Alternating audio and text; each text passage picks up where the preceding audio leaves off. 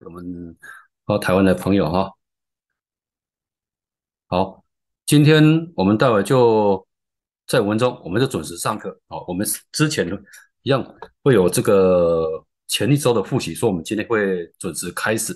那也顺便跟各位来在在线上的朋友已经上线了哈。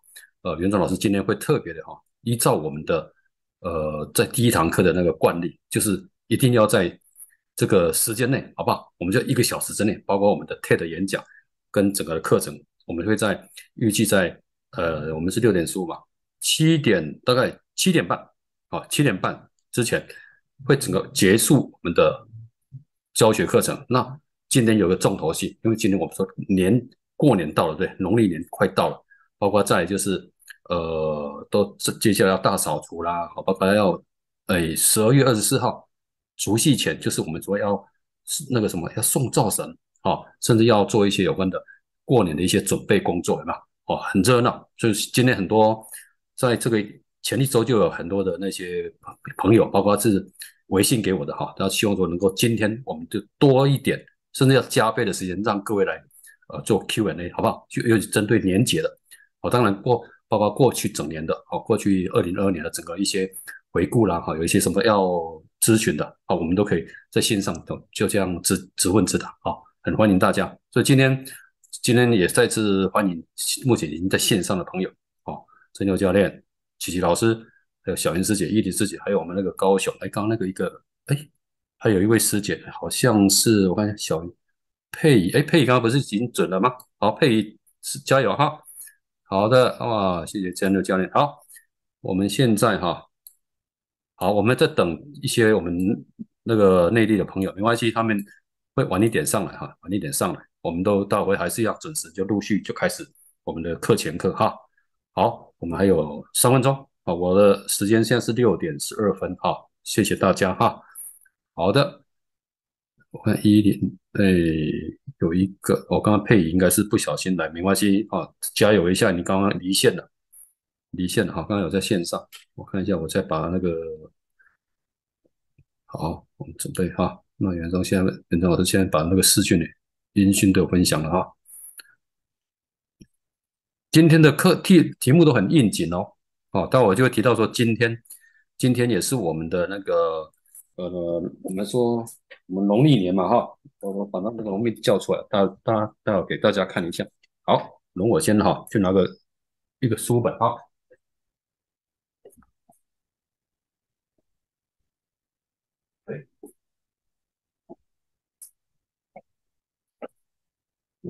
哦，对，找到了，今天很精彩哦，就是过年的过年很喜气应景的，哎，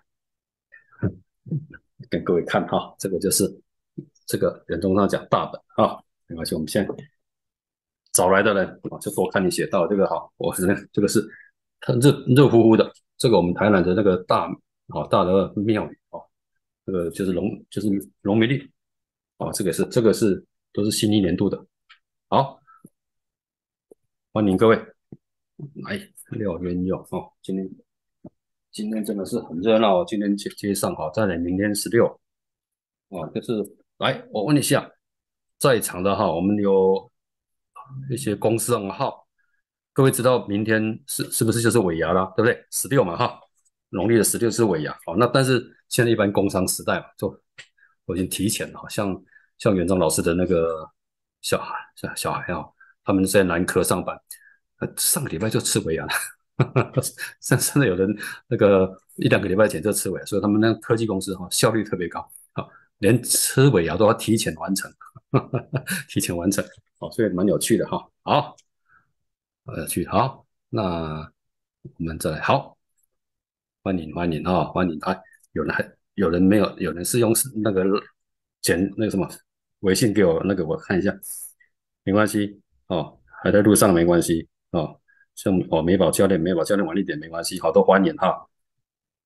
然后台北的奥斯卡，好，这个新新朋友，好，好，我们在两分钟啊，在两分钟好，我现在对一下哈，两分钟，因为前面是复习的，所以说我们一定要准时，因为准时上来的朋友哈，然后再次的哈也。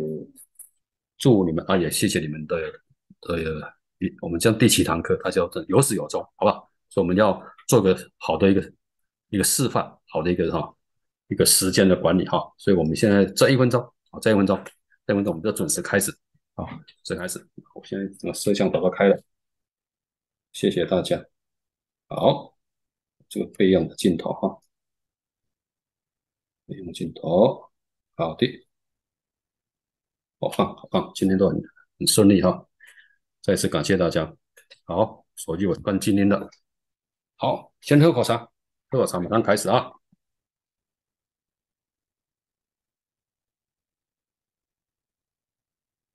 那个佩仪师姐，应该你的那个手机应该有听那个，再重新录一次就好了。好，再录一次就可以了。好好，谢谢大家。好，我们这次谢谢所有的参与者哈。好，把这个大家好，谢谢大家哈。好，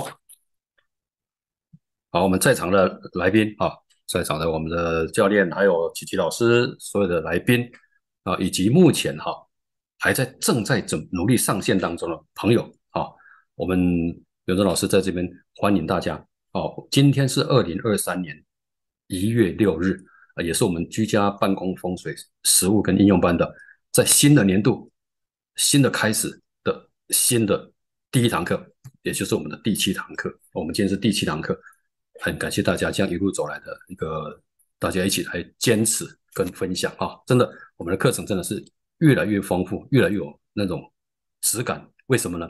因为各位提供的很多的个案啊，包括袁忠老师本身自己呃每一周的一些。个案的分享，真的就是因为有你们的存在，有你们的那个资源跟提供这么好的个案，所以我们的这个课程呢，真的可看性也好，各方面的专业度，真的我们是值得我们去做一个肯自我肯定的哈，真的很棒。好，那接下来就袁中老师就开始来一个开场白，欢迎大家来到居家办公风水实务跟应用班的第七堂课，今天是二零二三年一月六日啊，礼拜五，今天跟各位讲，今天也就是。我们在生活那个民间信仰上有一个很有很有特殊的日子，叫天赦日。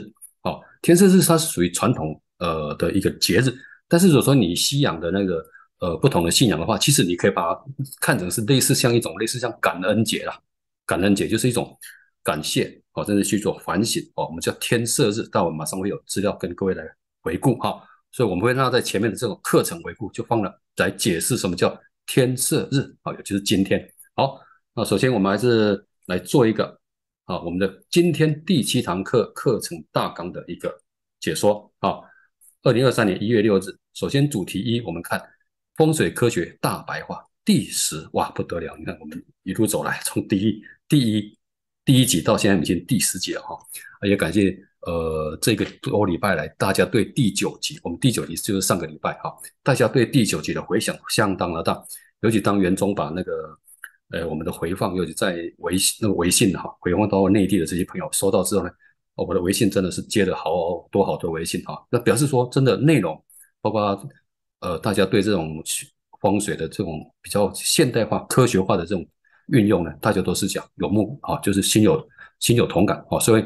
也感谢也在激励激励了我们来更加的讲要往前迈进啊，把这个课程做得更专业、更科学，那讲那个赋能跟这个的专业提升啊，能够更为我们所用，好不好？应用在我们的生活当中啦、工作当中啦，甚至我们的身身心灵的提升、健康，好不好？包括我们的整个一个财富上一个理念上的一个什么一个富裕跟平衡，好不好？好，那 TED 的十分钟呃第四第十节呢，就是我们的。身心灵全息风水学的二点零加强版的什么第二集？好，所以今天还会再进阶的跟各位分享，呃，大概十五分钟，哦，今天十五分钟，哦的一个 TED 的一个分享啊。那后面就紧接着就是我们的主题二，居家办公厅的什么选址规划 Part Two 很重要哦。哈，上礼拜袁总老师有呃预告，我们的居家也好啊，要找好的新娘房，还是为孩子的，甚至为自己。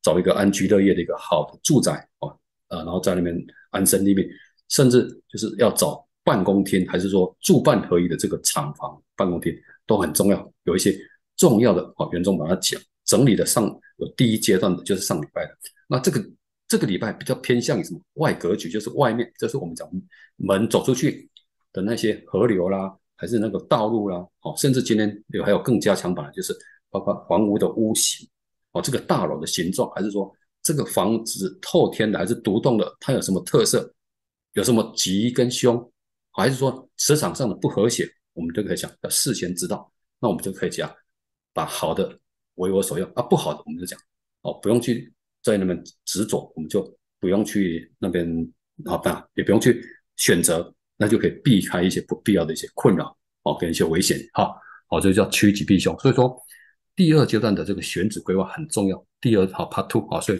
这是我们今天的主题。那第二个主题里面还有一个，就是今天要特别来，在我们那个前置里面，我我就会介绍这个时候天色日啊，就是我刚讲，就是以西方来西方来讲，就是感恩节啊，就是 Thanksgiving 啊。好，那我们在东方的传统信仰就是天赦日，那它一年大概有五天啊，每每两个月大概就有一天，哦，很难得，所以说它就相好就透过那个天干地支这样推算，所以大概有五天到六天左右啊，五六天。那这个应用呢，哎，我们大家就看到哈。好，主题三，今天呢风水案例呢，哎，今天袁忠老师以身作则。我们之前都是很感谢我们呃台北的夏总啊，汤之花集团的夏总啊，提供那么好的案例，包括嘉玲老师啊，都还有包括雾喜老师，都提供了很多照片啊，不管是圣诞树啦，是公司行号的这些 lobby 有没有？哦，所以说现在目前还没提供的一些朋友，还是线上的朋友，还是线下的朋友，没关系。袁忠老师我讲过了，我们在年后我们还会陆续有开相关的，不管是聚焦风水的，还是有关这种呃，像包括行号姓名的。哦，行号的命名的，还是说我们个人的有关这种一些比较生活上的一些主题的哈，有关我们的这个阴磁场的跟易经有关的，都会陆续开课，好不好？啊，目标我们就是放眼二零二三年，整年度都会有课程，每一周啊，每一周哦，当然过年期间会休休息个一两周哈，会休息个一两周，好，让大家可以好好度年假。那台北的元任科技公司，哎，就是我们元就是元元忠老师本身自己目前在。做规划的这个的那个服务的公司哈，那今天一样，主题也是有关这种感恩节啊，就是我们讲天赦日，还有怎么安太岁，因为我们接下来还要谢太岁，有没有？你看到十二月二十四号，除了要送灶神之外，有没有？就是要跟灶神爷爷一样，请他帮我们讲好话之外呢，还有一个很重要的大大人物，就是我们的太岁星君，有没有？我们的值年太岁有没有？好，所以要讲，也要还要恭送他讲回天庭，然后讲去奏奏旨，对不对？然后帮我们说好话啊，帮我们祈，帮我们讲祝福啊，这个很重要。所以说天赦日还有送神、送灶神，就是要送灶神跟什么谢太岁。好，这个在我们的案子里面会提到。好，第二个，台湾的这个何董，好，就在高雄，他本身这个老板很很。很懂得孝顺中追的这种这种礼礼教，所以说他也是礼请的谢老师，在大年大大年大节的啊，包括像冬至也好，还是像清明时节哦，还是像重阳节，他们都会做给祖先做功德哦。那当然我们在西洋来讲，就是为祖先这样祷告，甚至讲做一些所谓的什么一些祝福啊，这都一样啊。其实宗教不同，但是其实它的意意涵都是一样的，就是要对这样我们的过往的。祖先或是我们的长辈一种怀念、一种纪念，哦，都非常好。中西的那个心态跟那个意志，哈，那个意义都是一样的，哈，所以都这都相当值得去我们去表彰啊，跟重视的，哈。好，所以第二个案例，哈，在主题上，主题是今天，哈，主题是今天有一点多元化，因为现场节目其实今天坦白说，既然袁忠老师今天做。袁正堂公袁正公司就跳上第一线，对不对？所以今天原上影片里面会提到，各位让各位欣赏到很多有关袁忠老师在做第一现场服务的时候，好的一些影片，哦，也是这样，也是动态的哈，所以大家拭目以待。第五个，今天重头戏中的重头戏，我刚刚有开场了，有讲，今天的主角就是在场的线上的各位，就是在场的线线上的朋友，各位来宾，各位企业主，还有。来宾啊，教练啊，各位老师，因为今天要过年前的这三周，好套一句我们刚刚线上的那个，哦，这个是重庆的啊，重庆的一个一个王哦，他是露露露露老师，我很谢谢他的，在前三周他也是上线，还有看回播。哦，他说袁正老师，你可不可以后面的时间让我们问个够？好，那内地话说，让我们问的啊那个问的那个讲问多一点就对了。好，那上面的内地话讲起来蛮蛮很很有趣哈。所以说今天我们的时间会控制在一个小时之内。哦，没关系，有超过一点点的话没关系。提醒袁中老师，我会讲速战速决，但是重点都会提到，好吧？就是我们前面那个课程，好不好？四十五分钟，然后 K 的演讲也都会在课程之内。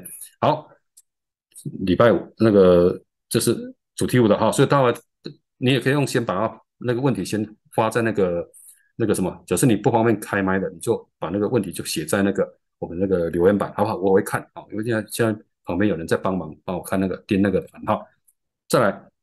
我预告一下，今天的课程特别多的一个叫什么？叫课程预告，也就是要预告下一周跟下下周，也就是小除夕那一天的课程，跟小除夕就是下一周，有没有？各位看了一下，一月十三号我们要开始讲，要送灶神，然后也要谢太岁，有没有？刚好提到的，那我袁忠老师会教各位怎么去感恩，然后即在家没有安的没关系的，你可以到庙宇啦，好。去做一个祈福的动作，这个我会教你，好不好？那如果一般的像呃西洋的信仰的话，我们一样，我们可以非常感恩的心，好不好？就是一样感谢一年来的什么平安，哦，一样都是一样的心态跟那种精神，哦，都很好。那一月二十号就是小除夕，啊，一月二十就是小除夕喽，哦，一月二十一就是大除夕嘛，哈，就是要过年了嘛，哈。那小除夕那天，我们有我们有些彩蛋，啊，袁中老师先给你卖个关子。一月二十号，因为我们还要讲要迎财神，对不对？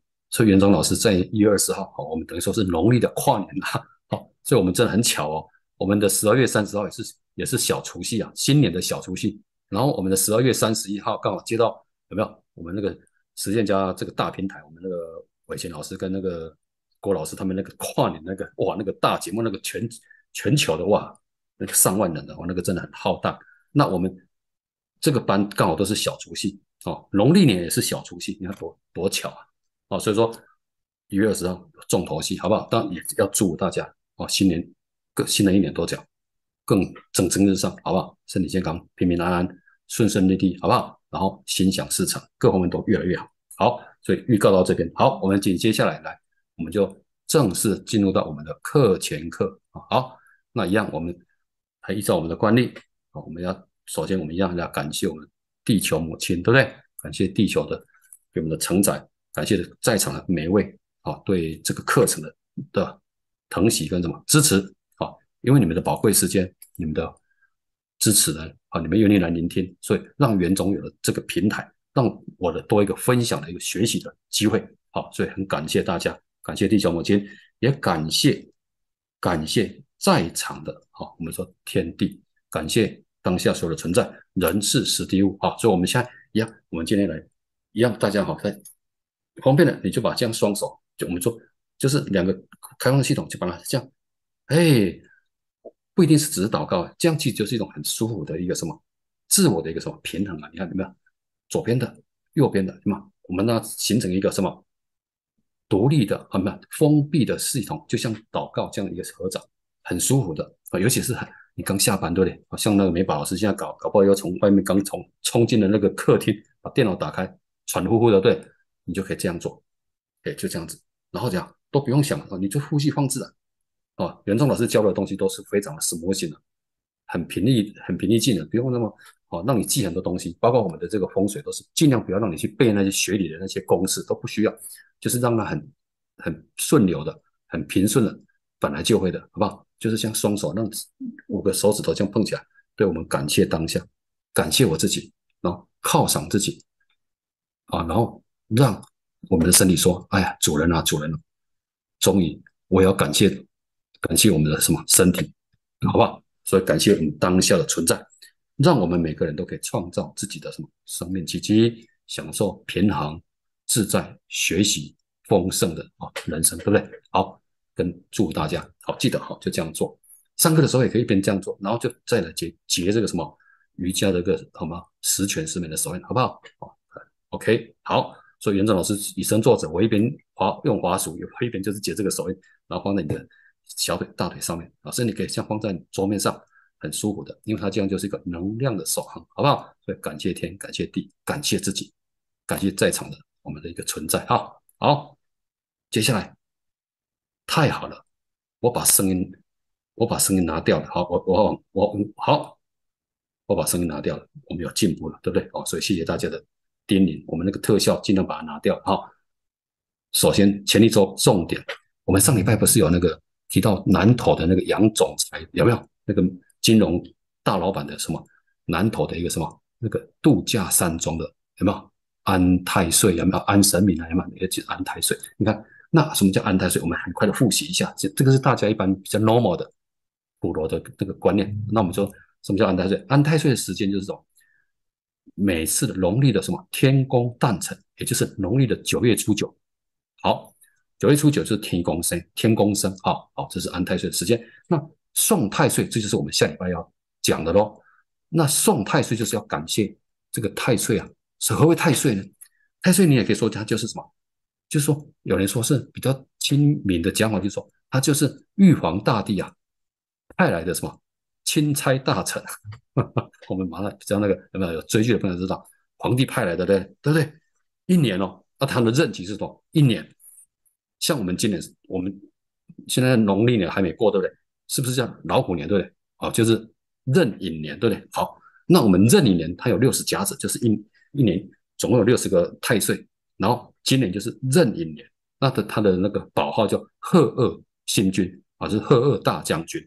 哎，他今年就要值值班，然后值值班到什么时候？原则上是要到。农历的十那个十二月底了，但是因为一般我们十二月二十四号就是要送灶神，对不对？所以一般的传统习俗，也有人在二十二月二十四号农历的，这是农历的，好好农历的就会讲送灶神，啊不送太岁，谢太岁，然后一定要先谢完太岁之后呢，才会开始这样，包括那个什么呃拜拜，拜我们的祖先，然后才会做所有的送灶神的仪式。下面我会帮你们整理下来，好不好？好，我们就是很快的跟大家来复习一下这些啊比较平常的一些观念。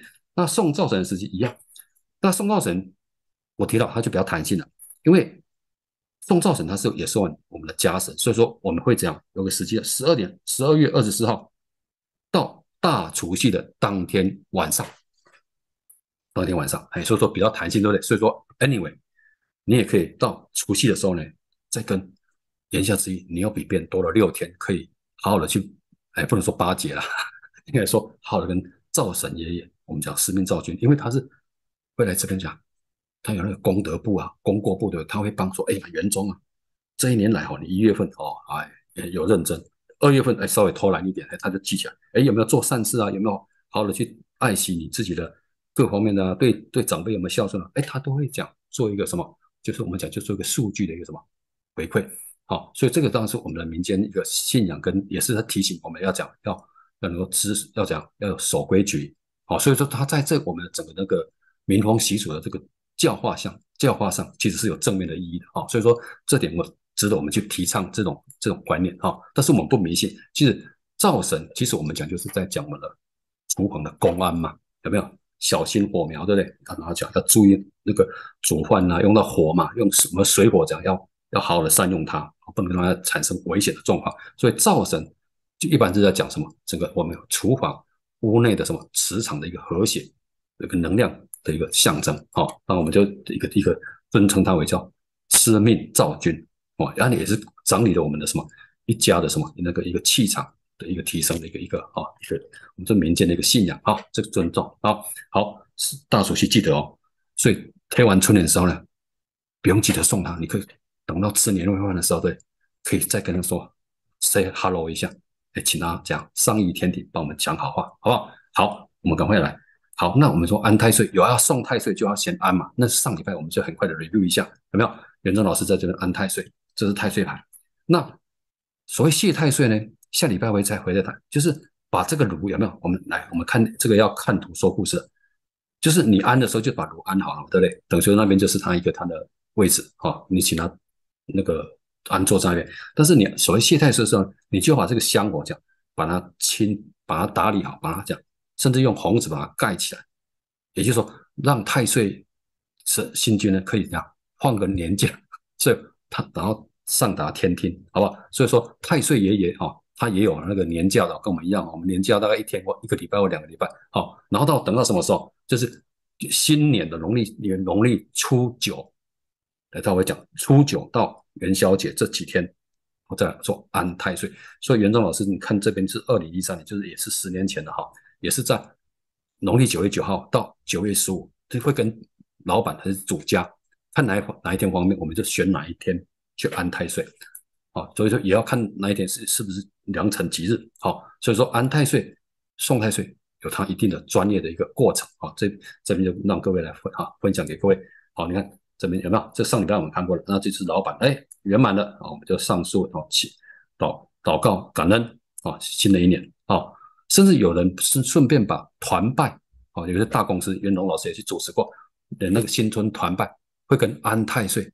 一起办也有这样子的哦，很也可以帮他喜上加喜啊，这都是很好的啊。好，因为这上礼拜的我们就快一点点，安太岁二，还送太岁送灶神，对不对？我们说下礼拜要讲的课程，我们今天就很快的也也是把它预习一下来。因为送太岁送灶神，你看哦，他说送神呢就是腊月，就是农历的十二月二十四，有没有？汉人叫送太岁送灶神，刚刚提到了。那现在就看。我黄色的部分就好了，一定要先送完太岁，因为太岁的他的神格比较尊高。那灶神它是属于地哈，就是说有等于说长幼有序的，但是都是讲对我们的，对我们主家对这个家庭都是正面的一个提升的，所以我们要尊重哈。来，先谢完太岁才能送灶神，哈，这是礼仪嘛哈。那再来看这个反白的地方，上天言好事，下界降吉祥，这在讲谁啊？哦，在讲我们的灶王爷。啊，赵王爷，好不好？所以大家先有这个概念，有概念就好了，好不好？好，其他那个东西就是一般的礼俗，哈，你可以把它解读起来，好，因为我们明下礼拜我们在除夕前，小除夕就会送灶神，所以我会把一些一些小小的那些有没有有有一些比较生活化的，我会一样我会准备给各位，好不好？那回回归到我们的这个这边来，好，那很重要的，今天还有一个课前的叫天赦日是什么？就是今天呢，当下的今天，言下之意，我们在场的老师他就说：“袁忠老师，你今天到底整天在忙什么？”我跟各位讲，下面就是我的分享。袁忠老师今天起得很早，因为今天是天赦日。其实我从昨天的，我们说一天一日之计在一晨，对不对？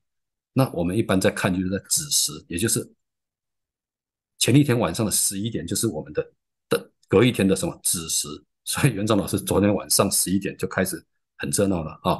包括我们那个公司，好在包括在南部的办事处，还有一些分分分据点，都都有人在讲，在所谓的什么，在在忙这个天赦日的一些礼仪的事宜啊。很所以天赦日其实是很好用、很实用，而且是非常在不管是在风水老师，还是说一些呃专业的一些服务的课程当中，天赦日是一个很好运用的好日子。好，所以你各位来看一下，来，我把它调出来。每年有四到七个天赦日，一个年啊，一个季了哈，一一个季度了哈，一二两个也是两大概两个月，两个月哈，就平均两个月大概一次。好，啊这边这个口诀大家记起来就好了啊，因为农民历哈他都会写，所以各位这不用死记，好吧？来，我把那本哎哎，袁正老师刚有一本，那怎么飞到哪边去了？好，我叫那个助理帮我拿过来。我刚刚有 我刚有一本那个农民历来，我看一下。好，没关系。他放到旁边去了哈，也就是说，那个红色那个大红彤彤的布子上面就有了。像今天他就天色是五号，就会看到下面就会让你们看到哈。春逢戊寅哈，有没有？戊寅下甲午，就是那个那个天干地支哈，这个这个不用背，我们就把它顺口溜讲：春逢戊寅下甲午，秋值戊申天色露，冬月甲子最为凉。百事达之，多吉助。那今天就是冬月啦，来嘛，腊月嘛，所以是甲子。来，我们大家看那个日子，好吧？大家就会看到。好，古书有记载哦，天赦日宜什么？哦，可以做祭祀。来，我们看这个图哈，看这个图表，还有祈福。哎，今天我们都有做求事，哦，就是要哦，有没有？就是要子孙满堂嘛，斋教，就是要讲，也是要祈福，还是消灾？哦，还是说我们要要讲要反省，对不对？哦。好，结婚啊，嫁娶啊，修墓、造葬，包括我们要装潢，有没有？我们上个几几堂课，我们那个夏总有没有？你要是南北向的房子，假设还没交节气之前，今年是不能动工的哈，是有换太岁嘛？对，太岁房不不动不动土。但是如果说刚好是有天赦日的那一天，我们就可以讲，我们就大事化小，讲这样叫也不能说百无禁忌，而是说可以择择什么权宜措施，也可以这样，也可以修造，但是要诶专业老师特别给你一个说选一个好的集那个集成，好要配合那个时辰，好，所以这就比较专业的一个那个高度。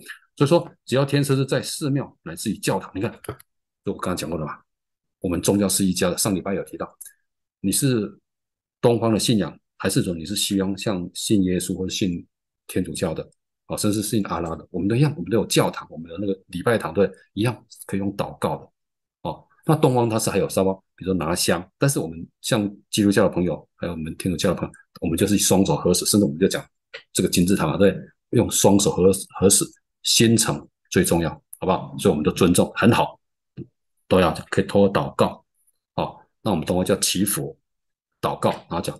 这个日子，这个时辰，我们讲，它就是一个天时地利人和嘛，有没有？所以你再配我们的这个哦能量之心，有没有？灵魂之心，哎，它的那个整个感应跟这个共振，它会讲更加有加倍的效果啊。这个也是我们把它当成一个一个科普常识参考，好不好？就像我说我提过了嘛，上个月啊，就是二零二二年的十二月九号那天是满月，有没有？哎，它的整个能量磁场，太阳跟月亮，还有包括星辰、星星跟我们的本体。它那个宇宙之间本来就会重复出现的这个这个共识性，叫做共识性。好，今天就很很开心跟各位讲，叫共识性，对，就是共同的共，时就是时间的时，共识性。相对我们就要多去掌握这些，好，运用这个什么这个时间点，然后为我所用，好不好？共识性啊，好，然后讲都会特别灵验，所以有什么愿望都可以这样，趁这天去祈求。还有，对不对？我们说那个流星来的时候，哎，可以许个愿，对不对？其实不一定要看到流星，在天色日当天，好，一年有六次到七次，好不好？好，我们很快的来天色日，呃，好，这个的这个地方就漏掉了，没拿掉，来，没关系，重点是要看这一张，来，各位来，我要借由各位的目光来看这个地方，哦，所以我不用去找那通书了，对，我已经把它放在这边，哈，天色日有没有看到？来，几月几号？是国历一月大几月？这个是壬寅年通书。好，一月六号，哎，果不其然，就是今天啊。袁忠老师讲，我昨天晚上十一点，哈，十一点就开始很忙碌了，因为什么？那个八号分机都打了。哦，他当然不是八号，就是讲有些会来祝福的，甚至也是问问题的。好，所以甚至袁忠老师也跟你讲，只是一般我们老师专业的老师，哈，包括我知道有些教堂哦。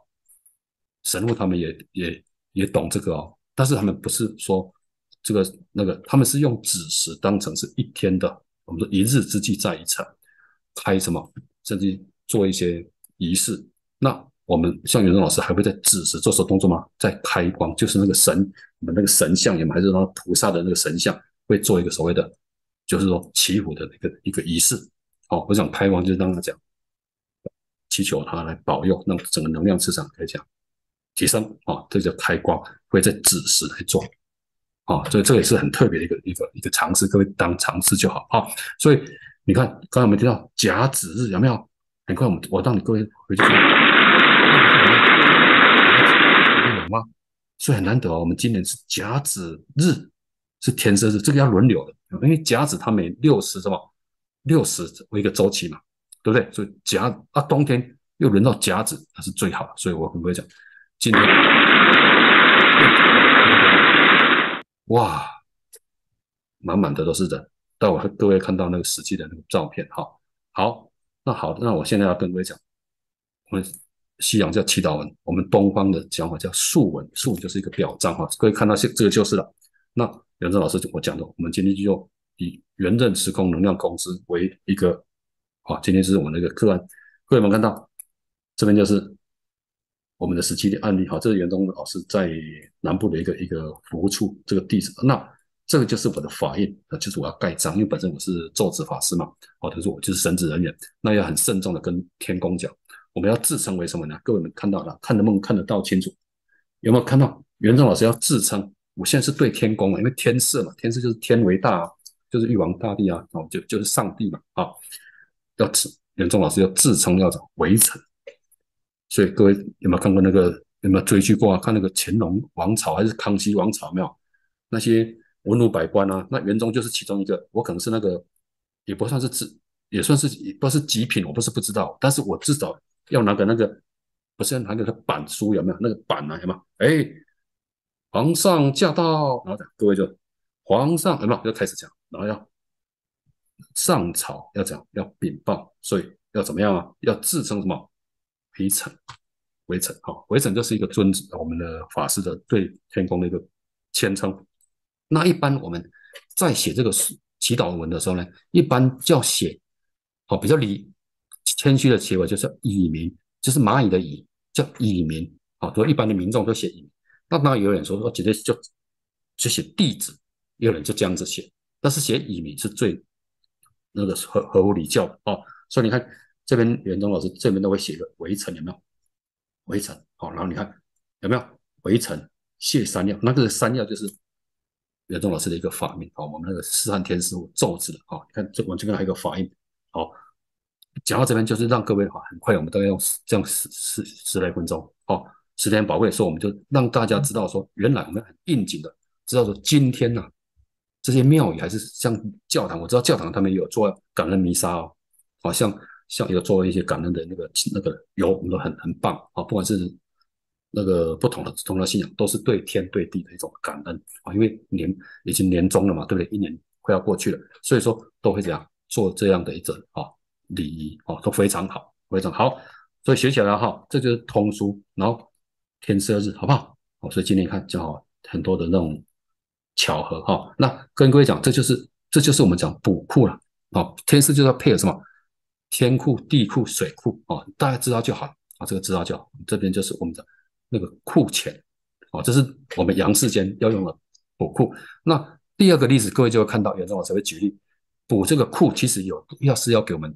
祖先的，哦，给一些过世的长辈的，那跟这个就不一样了，哦，它那个是颜色就比较淡，比较属灰色的，哦，那这个它有彩三个颜色，有天地水，所以有红色的、蓝色的跟什么，哎，跟白色的，哦，在这就代表天地人，哦，这个就是一也是一个礼教一个礼俗，哈，好，大家知道就好了，哈，好，很快的来，我们接接接接下来，我们用一点我们的时间，哈，要加快我们的进入到第二个。叫风水科学大白话第十集，身心灵全景风水原理。我们今天是进入到我们的个进阶。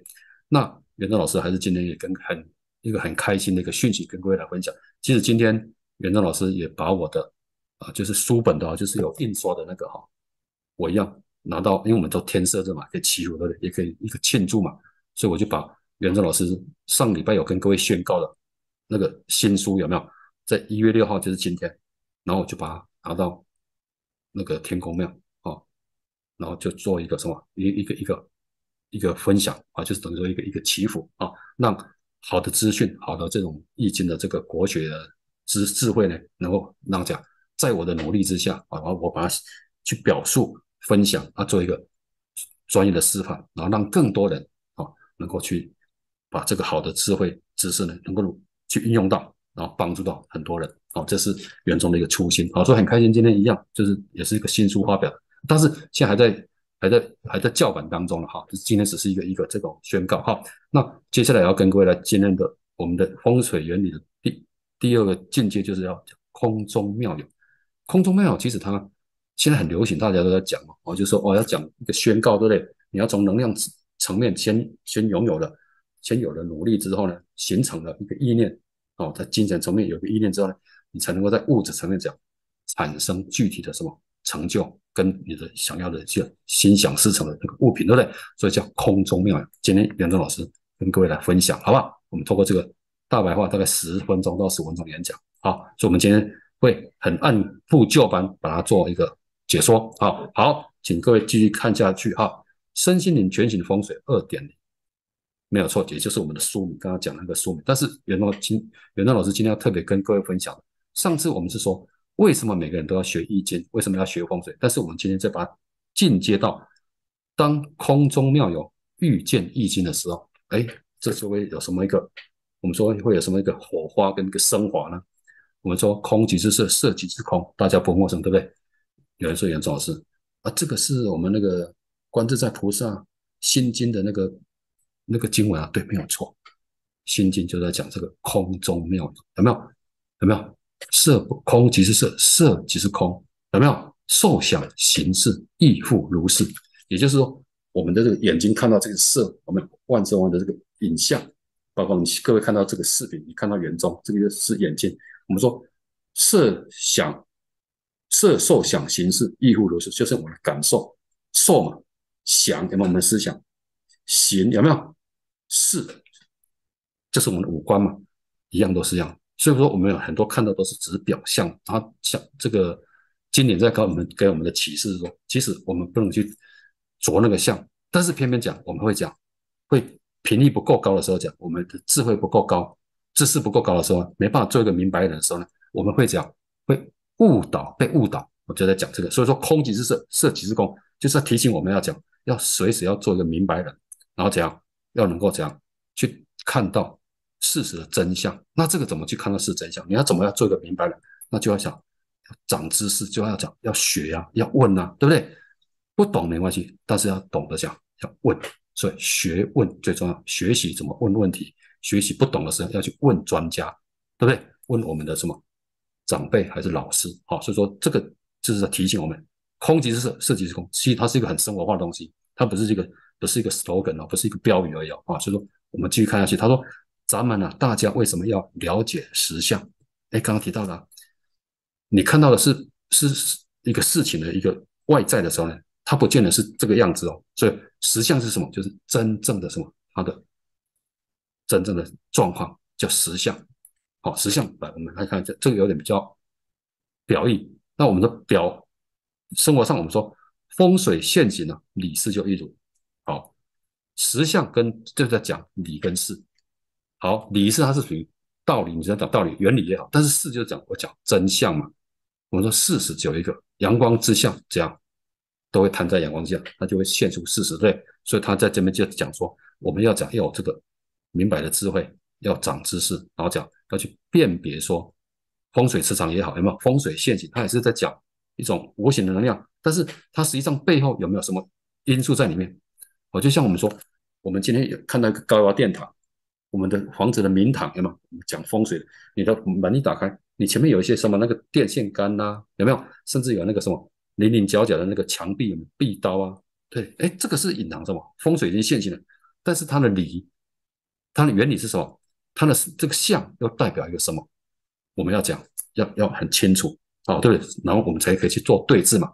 啊，比如说有这个有这个高压电塔的时候，我们要怎么去把它做缓冲，对不对？甚至要还比如说。种树啦，还是说遮障，还是说我们就换个方位，不一定要跟他硬碰硬。哎，这就是在讲理事嘛。看到了，但是我们一个对峙啊，叫理事。所以说你还要讲，还要讲，很专注的去叫自心一处。哦，这边有挡道，你们应该没有挡到，我这边有挡道哈。自心一处，无事不办。所以说，当你碰到问题的时候呢，你不要去退缩，可能你要讲，要正视它，勇敢的去面对它，你就专心的去跟他讲对接，然后。去看透，甚至讲我们讲去了解，甚至去分析它，所以叫自心一处，无事不办。这个你看，这个事又来了，没有？这个事就是跟刚刚那个理事一个事是一样，就是我们万日常生活当中什么柴米油盐酱醋茶，包括我们的事业啦、工作啦、小孩啦、亲子互动啦，这都是事嘛。好，所以说事就在讲我们的日常生活的啊，林林总总这些啊，都叫事。那理就是讲我们要去探讨的，它有什么原理？它的真正的什么那个什么一些规划规定规律是什么？所以我们就可以透过什么我们易经的什么来，各位继续看下去，这是有连贯性的哦。你看易经的什么东西啊？不易有没有变异跟简易这样来做一个什么分析跟做去把它解解释，那你就会讲了然于胸，就不会被他所迷惑了。甚至讲人云亦云，不知道。自己做了什么事情，对不对？尤其现在网络时代，各位有看那个购物台有没有？看那种双十一的那个那个网那个购物节目有没有？哇，不得了！这去年啊，我很多那个台商老板他说哈，每一次哈，就是忍不住就去看那个双十一的那个那个那个节目，就莫名其妙呢，隔个月的那个账单呢就多了一二十万的那个人民币应付账款，为什么？就代表这样，你是被影响的。当然买一些必要的、有需要的是是 OK 的，但是有一些都是多买的。各位有没有觉得？啊，所以说网络时代有它的好处、方便性，但是相对也造成我们购物上的什么 那个 over，对不对？啊，就是有点负担，啊，所以这个要去做权衡。所以说，不易经世，便易经营，简易齐家。那我们上个礼拜各位还记得这个地方，袁中老师把它做一个什么替换而已，这叫大道经世，中道经营，小道齐家，有没有？其实我们易经讲白了，就是讲不易、便易跟简易，所以要简简单单。你做一个明白人，其实就是要用易经的这个什么。三个这个构面，去让自己的生活这样有条理，然后很平顺的、很顺流的，然后回归到我们讲的内在能量有没有？我们的阴阳的协调，我们的阴女性能量跟男性能量的一个很和谐的一个共振，然后你可以讲，男生你就讲，你可以继续去做一个保护的、保卫的一个好勇敢的一个经营者，还是一个独当一面的一个什么 leader 或是一个 mentor 一个导师，但是女性能量会。帮助你内在的平衡，让你怎样能够洞察先机，而且这样能够看到对方表面之后的、之内的、之外的那些真相。所以说，讲男性能量跟女性能量不是不是很新，不是什么那个那个嘛，那个别出心裁。其实各位在看袁东老师在第二、第四堂课的时候就有提到，包括开场白，那么我们的那个说明说明的课程的时候呢，其实就在讲我们易经的什么。阴阳的时候和谐跟这个不易、便利跟简易，所以说它是一而三，三而一。不易就是便利，便利也就是简易，那简易也是不易，这样懂吗？啊，所以说我们说当空中没有遇到是易经，其实它就是让各位在更升华，说原来易经它跟很多这个道家跟佛家的经典里面的意思，它是怎样？它是合一的，它是都是共同的一个什么那个什么。依归的，好好，那我们继续看一下去。人之觉悟啊，百分之九十都是后天精进明白所致。我们刚提到嘛，要做个明白人，但是你怎么可以作为一个明白人？要精进啊，要精进，因为你唯有精进，我们说你有自律，你有好的给自己一个什么提升。言下继续要讲，要多学问，多什么，多行啊，少说，就是要多什么去实践，身体力行。所以说。觉悟，我们我们的觉悟不一定是大车刀，那是讲可以说做个明白人，好不好？所以在此，在岁末年初哦，我们二零二三年的这个第一周的上课呢，跟各位来互勉，我们要做一个什么精进，用一个明白的什么一个学习，一个平衡的人生，好不好？好，所以跟各位来看到最后来，我们再看到这边的一个一个流程，叫看破放下，财富自由。所以我们说我们的财务海洋要讲不断的去给对，不断的去讲付出，哎，但是讲。我们就是看到了真相哦，原来要怎么收获就要怎么讲，要怎么摘嘛，对不对？所以舍得舍得有舍才会得，对不对？这个德当然包括我们德行的德，对不对？你有了这个德行，有了这个自律，有了这个有没有？你本身有这个学涵养，有这个德行的时候，当然所得的一定会讲倍增，才会更财富自由。好，我们把这个观念，袁忠老师很快的跟各位讲。好，我们今天幻灯片。不多张，但是我们可以讲，把它很快的到做一个那个总结。好，身心理全景风水二点零，这个我们上礼拜有提到，但是今天严严中我们老师来跟各位延伸，有没有？环境跟人有没有？我们刚刚提到了理跟事嘛，事就是包括什么？我们人跟大环境的这些山川河流，有没有？还有太阳、月亮、星星，这是人跟大环境，这也是属于事。那它的理是怎样？理就是说星球它有星球运到北极，有没有？刚刚不管是太阳那个什么？这个十二月九号的满月，还是太阳跟月亮的这个所谓的什么引力互动，它本来就有一个道理存在，跟我们人的互动，它都是独立的，都是共融的。所以说各走各的，所以里外世外在讲这个，我们有我们的道理，人有人道，天有天道，地有地道，就是我们讲地理嘛，叫地道啊。好，人与其他生命之间的也是一样，也是理事无碍。我们上礼拜不是提到了吗？我们要慎终追远，对不对？我们要对这些无形的这些，不管是小动物也好，这些有形无形的生命体，这样，甚至我们要讲，包括外外在外在星球的，我们现在目前还没有看到它存在的，但实际上它是有存在这些生命体，有没有？这个族群都要尊重。所以说，理事无碍是在讲我们人跟整个大宇宙，甚至整个我们的三维空间、四维空间，甚至五维空间的讲和平共处。那严忠老师跟各位讲，严忠老师既然是一个。一个奏子的正规的法师，和我们我们传统的中华道教的一个正正一，我们天师傅的奏子法师，我们更懂了这种人跟谁。我们讲白了哈，当然现在逢年过节讲那个字，大家可能会觉得不讨喜，但是没关系。其实我们有人道，有所谓的畜生道的，有所谓的恶鬼道嘛，这还有第一道。我们讲就是那个有没有？就是鬼道。其实鬼道你可以讲它就是另外的一个我们一个生命的一个什么？维持一样，他们也是有他们的那个社会组织哦，有像我们这样子，有这样上上下下，也是要要食衣住行的。但是讲，只要能够心心怀正念，你都是讲有照这个天地人这个道理，天道、人道跟地道一样都可以，理事无碍。所以今天袁仲老师要跟各位讲，就是说，我们除了重视风水的这些行家的理气的这些原理原则之外呢，还有这些实际的。操作之外呢，其实就要了解说，我们本身这个个体，包括这个环境，它的整个能量磁场跟所有的这些我们的这个第二个方面，其他生命灵性都是息息相关的。所以我们要用尊重的一种感恩的哦的一个心态啊，去跟他们和平的什么相处。那你在你的世间，你的有形的生生命呢，有啊有形的这些物质啊、事业啊，包括财富，我跟你讲，你就会怎样？得道多助，甚至会讲得到很多。我们说贵人相助，有没有？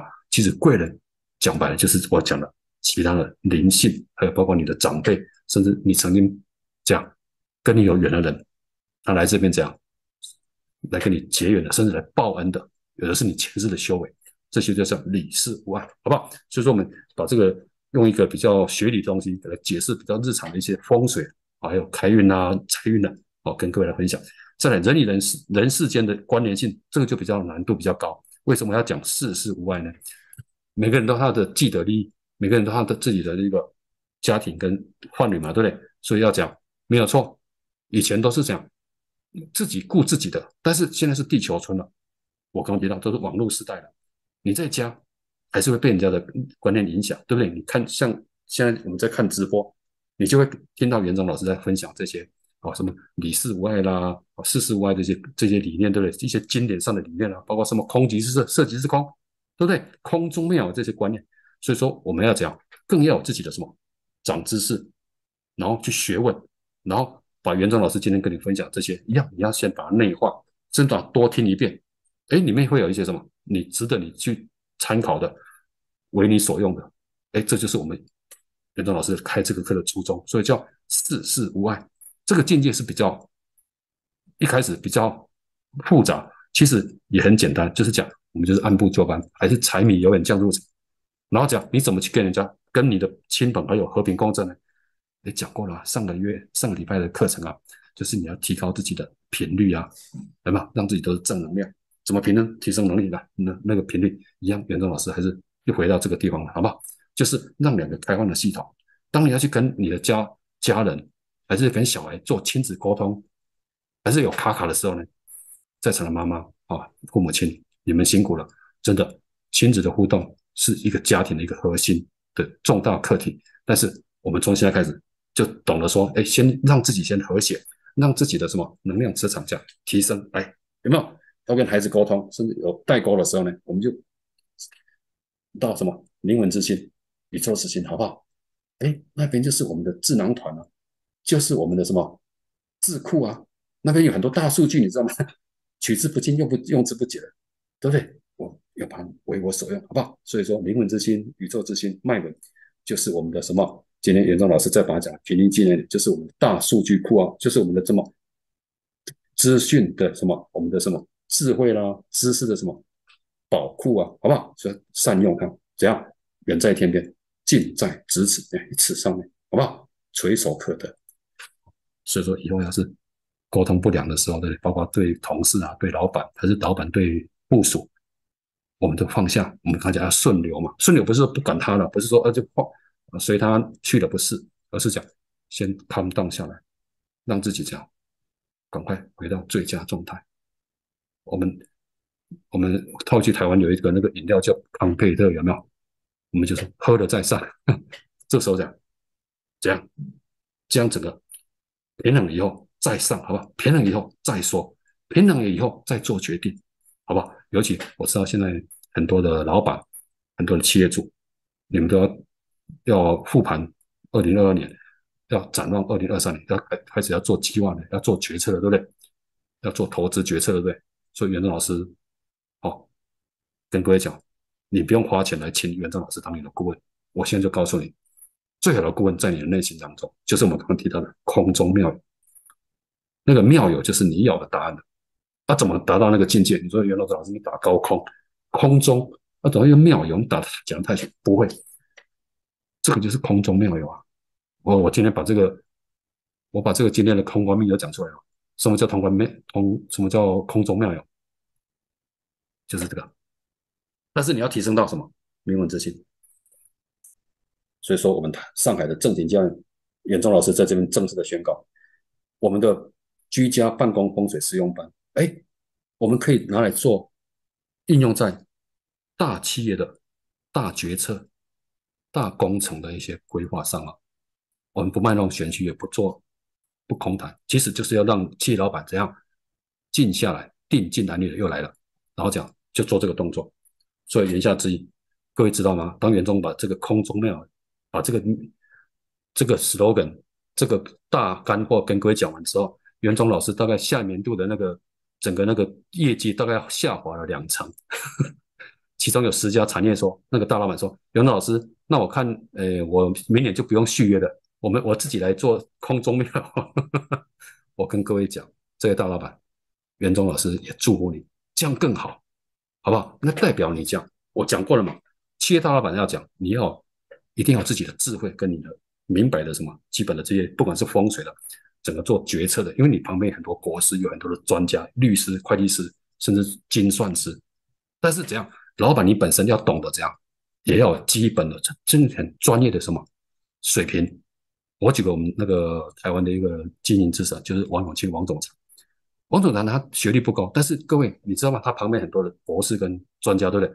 但是如果说王总裁他本身没有一定的知识，他自己的内部的涵养的话，他能够去善用这些我们讲这些专家的这些智慧跟他们的专业知识吗？答案是一定要自己有，好不好？包括我上次一直在很敬仰的一位那个长春化工总裁的那个林总裁林北北有没有？他们都是。很好学的，懂得怎么学问的人，像袁中老师在五年前跟他解释的时候，你知道吗？我跟他这样在高铁上的时间不不到半个小时，他居然问了问了我十几个问题，不管是有关风水专业的，你看这些大老板、这些成功者、企业企业家，包括我们那个长江集团的总裁，我其实我们都有机会跟他碰过面他们都很好学，这点是我从这些成功者所身身上学到，我们引以为。啊，真的要以多多学习的地方，好不好？就是要好学，而且很自律。所以各位跟各位讲，好学又自律的人，肯定是讲离财务自由，甚至本身就是财富自由的一个什么示范者，一个最好的一个实现者。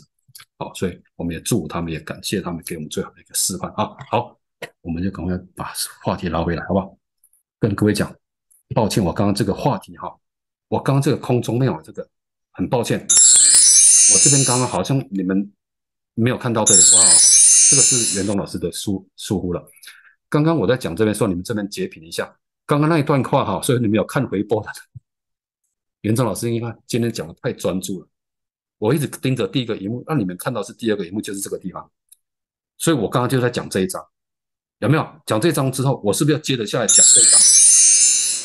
里是外，事事歪对，所以没关系。在场的各位，我知道有人留言了，袁忠老师。你今天好像都在讲无字天书，不是的，因为园长老师忘了把第二荧幕这边有没有有没有看？我们很快的再捋捋一下。刚刚不是讲易经这个空中庙有吗？我们你把它截捋下来，空中庙有遇见易经吗？好不好？所以今天你看啊，新年新春的第一堂课没关系啊，因为我们都有录屏，对不对？好，所以说一样，你还可以，当我在回看的时候呢，再把这个拿起来，好，等就就袁成老师其实今天是个小小的一个卖个关子啊，我没有把讲义给各位，我就直接就做什么，就演讲，好不好？啊，既然叫 TED 演讲，当然就不能看小抄了嘛，对不对？好，所以请大家包涵一下，但是很重很重要，好不好？空中妙有，还有自行一处五十不半，刚刚就在讲这些，上半段讲这些，那接接接下来下半段就在讲。一样，大自然的十项境界的三大方面，里事外，看后面这边讲了，事事无外，里外事外，里事无外，跟事事无碍，有没有？人与人之间其实最复杂，有没有？有没有听过一些长辈讲过了？人心怎样？隔肚皮。有，袁中袁中老师在小时的时候，一些长辈都说，人心呐是莫高深莫测的，反而这些动物动物啦。这些万事万物啦，一些事情都可以预测，但是人心会善变，没关系。袁正老师，我也深以为啊，深深的感受到。但是人心会变，是一定它有它的，有时候它的一个前提，甚至还有它的苦衷。有时候我们被背叛了，我们被这样被糊弄了，甚至被不尊重的时候呢，我们就反正我强调，赶快静下来，赶快先让自己的内心的天衡能量共平共振。我们说，凡事讲先反求诸己。有没有？哎，我们老祖先，东方的老祖先的修养啊，对，颜回有没有？三一日三省吾吾身呐，你看这都是孔子赞叹的地方，有没有？颜回，所以说我们先先自己向内关照，不是，但我们不是不去争取，而是先让自己看不到下来，这就是一个什么智慧的一个生活化了，好不好？所以就是人与人之间要达到事事无碍，不简单，这要渐进渐修，甚至要讲。要见物见修，好不好？我们互相勉励，好不好？所以在此跟各位来讲哈，稍微一个抱歉，刚刚跟刚刚各位袁总讲了那么一大堆，哦，好，那讲到这边，原则上我们进进入到我们 TED 的尾声了哈，就是说原原则上大致有三个方面，再很快的复习一下，就是环境跟人嘛，上礼拜提过了。第二个就是人与他其他生命灵性的什么关联性，那今天我们把它理出来，理是无碍，很重要，好不好？我们要懂得他们理。我们要尊重他们，但是我们自己要想，也要很踏实的去过我们自己的什么规律的生活，然后讲互相尊重，是即使是不同的宗教、不同的文化背景，都可以理事无碍。这就讲一个什么和和谐共存，好不好？的地球村的观念啊，好，人与人之间理事事无碍，对不对？很多人意见不合怎么办？没关系嘛，我们讲过的，我们我们先先在你能量层量先打电话之前先讲，先自己先讲宣告。对不对？好，刚刚就再复习一下。所以刚刚袁正老师赶快再把这个还给大家，好吧？因为这两张是第二一幕没有画跑出来的，所以你们看不到啊。好，这是大构面。好，这一张应该就呃，我我刚刚往好，刚刚那张就是一样的东西，它只是啊后面那个好全息风水。我们说既然叫二点零的话，其实又再讲回到这四个方面，好不好？那我们今天就不去再。赘述了。其实我一直强调，袁中老师一直在提倡的这个全息啊，身心灵的全息风水观念，就是讲一定你要回到天地人合一，好不好？这个不是我新创的。其实袁中是把我这三十几年来，甚至将近四十年，从国国中、高中到现在的一些对整个这种宇宙的实相现象，跟我们日常生活当中的柴米油盐酱醋茶，包括我们的工作上的一些现象，跟我们的什么喜怒哀乐，我把它。运用在整合在我的工作上的一些什么经经验跟法则的分享，好不好？所以叫全体叫专案组成，所以说真的可以比较面面俱到，好不好？所以说没关系，一般的老板你当成尝试就好了。那接下来我要跟各位分享，就是说，其实啊，龙脉生机也好，好龙脉生机也好，还是这个所谓的科学生机，是我们的金字塔也好，还是名扬两利这个东西，好，我待会举例给各位看。祖先他们需要的是什么？尤其逢年过节了，哦，我们在场的这些妈妈还是父母亲，你们都知道，我们比年纪比较大的都知道说，一定要慎重追烟。但是年轻人他会觉得说，哎呀，这个这个呃爷爷奶奶啊，高祖高祖父高祖母都看不到啊，我们哪知道他们对？没关系，年轻人我们需要给他时间啊。尤其是我知道很多人，你不管是东南亚还是我们内地的，我们到逢年过节都会拜祖先的人，但是你年轻人他不，他们是不来这一套的。没关系，我们要为人父母，包括我自己也是一样。我们比较勉强，但是我们先以身作则。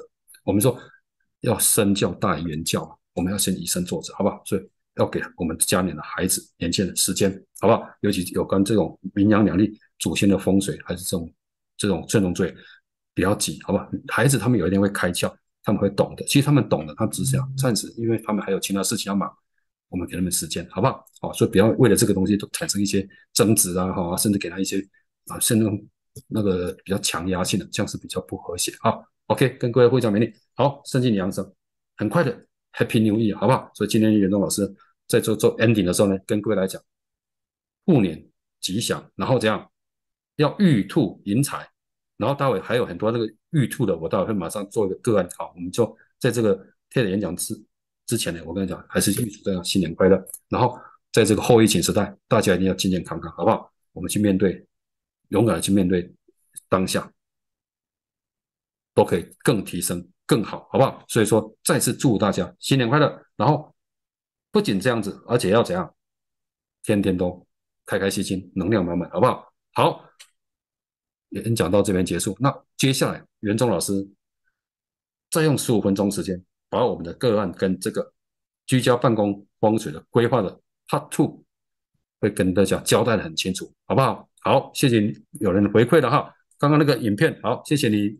提提供这个意见啊，好的，好，感谢你，所有人，好，谢谢，谢谢，好，谢谢。刚才有一个我们内地的朋友哈，他他有提到有有微信进来哈，就是刚刚那个两个画面啊，没关系，我刚刚提过了，那个可以截屏，而且袁忠老师刚才又把它回放了，所以今天好，我们就继续讲接接下来我们的进度哈，居家办公厅的选址规划二。很重要，因为我们上礼拜是第一阶段，对不对？所以说，既然可以让袁忠老师重复的讲两个礼拜的，所以在场的各位看官，那代表这个课题主题是很重要的，因为要买房子啊，我们要搬新家，甚至我们的新的旧的房子要把它整修一下，对不对？都很重要，所以我们是很生活化的哈。来，赶快，首先上礼拜是不是提到了，我们就进入到状况了？是不是讲到地形地地形地势啊？有没有？包括河流有没有？道路河流的判断有没有？河流道路就是河流了，有人潮的地方有没有？车流那都是算一个动线了，有没有？所以上礼拜讲过了。那我们今天就要从第二个第二大重点叫外明堂，就是我们门打开，大门打开，车子开出去了，人走出去了，看到的就是万事万物了，就是外明堂。来，大门前一百公尺以内的地方叫大外明堂，一百公尺，好不好？我们就做一个概约数。第二个。屋宅位的四周环境，就是你的朱雀啦、玄武啦、左青龙、右白虎啊，哦，包括你的上天上面，对不对？你要看看上面有没有那高的铁塔，对不对？有没有？有时候它是很高的，对不对？哈，还是那种路桥啊，有没有？有没有挡啊？或者还在旁边？好，第三个就是房屋外观，这个很重要，因为我们在第一堂课的时候提到说，那个你的宅房子那个座山有没有的那个五行有没有？哦，金木水火土，对，然后你的。住的房子的那个形状有没有来声望你的这个屋宅的那个五行呢？哦，这个复习一下，所以这个也很重要。今天就是比较间接的来教各位。好，你看地势地形有没有？你看所谓明堂就是你看看出去就是这样子，哎，也搞搞不好就看到这个路桥的这个这个哦，看到桥有没有？刚刚提到了，哎，看出去就是这种哇高楼大厦，这个 view 很壮观，对不对？哦，这在香港，哎，有可能住在山上来嘛？哇，前面有高高的这个叫叫什么？这个叫潮，就是比较远的地方叫潮，啊，近的叫暗山和暗草，哦，这是在住山上的朋友，对不对啊？好，那这个也是一样，有没有？啊，其实这个也是袁正老师在我们台湾那个生机宝地，你看这就是他的明堂，你看，你看，那左边、右边都有什么？有那个青龙，左青龙，右白虎来来保、来维护，对不对？啊，前面都有这个都，这个都是有水路的，啊，这是真的货货真价实的，这个是水哦，风水宝地，就是我们讲的什么叫宇宙。地球母亲的什么能量网格的什么节点，有没有？上礼拜提到啊，就是我们的那个龙脉生机的一个那个什么主轴的那个什么条件之一。好，你看，有可能这样一打开之后，哇，高楼大厦，对不对？像我们去到深圳，有没有？广东的深圳，哇操！你看到那个楼，哇，整个那个路就很壮观，整个都是整排都是高楼大厦，对不对？像北京现在这样，你看，从五环六环这样一直一直有的一直拆掉，一直拆。哦，欢迎欢迎！像袁忠老师在二零一零年，好不好？世博会之后，我又去北京，哇！我去北京什么？去中央电视台，袁正老师十二年前就接受那个我们呃中央电视台的访那个去做电视节目，但是那是做网络的，那时候就开始，因为那时候哦我们领导他们强调就是要做这个国学的宣导，所以袁正老师在十二年前十二年前就有上那个 央视的那个网络电台了啊，所以一样那时候去去的时候，我记得去的时候十二年前还在，我记得还在在武汉，还是旧的那个央视的那个办公室。然后在隔年再去的时候，哇不得了，整个在朝阳区，哇好气派，有没有那个那个那个建筑物啊？那我们那个央视那个招牌建筑啊？真的就是这种进步。所以说，现代的我们现在的阳宅学，尤其是行家学，对我们阳对我们老师来讲都是很大的挑战。所以，我们言下之意，老师不能摸鱼，不能偷懒，因为我们的状况百出。因为现在房房子建的啥五五花八门啊，所以行家阳宅学日新月异，好不好？所以跟各位一起来分享。学习好，好上加好，好吧？要把这个学问再往提升，然后凡事都要讲。我刚刚讲过，上礼拜提到要信度跟效度都要有科学的理念，要有大数法则的，这什么？信度跟效度哦，要哪讲？增加它的准确率，好可用的我们留下来，别出心裁的啊，不是很重要的，我们就要讲先放在旁边，好，这很重要哈。好，很快的，Part Two。我们讲地形地势，上礼拜的资料对不对？就是山坡不要这样倾斜，然后那个仰角有没有尽量低于十五度？十度的话是还可以，十五度不要超过，有没有？你的门前有没有？我们说大明堂嘛，明堂的那个你前面的那个楼体楼有没有？不要你抬仰头一看，哇，那个楼比你还要高，甚至讲把你整个倒下来都会讲白了，那个楼要它往往你这边倒下来会。扎到你了，那就不理想，那叫暗逼。上一道提到，好吧，就是那个仰角高于十五度，就产生暗冰。那为什么东西呢？我们名下言下之意嘛。所以说，我们知道愚公为什么要愚山，你知道吗？愚公为什么移山？因为他的山挡住他嘛，不良于行嘛。所以，所以你说啊，我们可以学学愚公吗？可以山不转路转，不